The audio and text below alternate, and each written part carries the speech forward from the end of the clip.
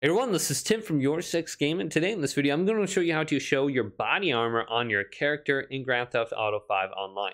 Now, most of the time when you try to show your armor, it's because you have like a jacket or something on, and the armor is displaying underneath it.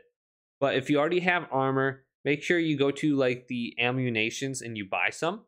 And then you can go on over to the interaction menu and go to health and ammo right here. And then you can go to body armor and you can scroll on down and you can show the armor under here. So it says equip armor. Now, since I have a utility vest, which looks like body armor on, I don't need to have that selected. So I can go on over to just the clothing stores and browse tops. And I can go on over to utility vest and I can buy one of these. So it pretty much looks like body armor already. And you can get different colors under here. Otherwise, you can just get a regular like fishing vest or something. So I bought this one for about 32,000 and I have this equipped. So I can unequip this now and make sure you don't have like a suit jacket or anything. So just get like a regular t-shirt on.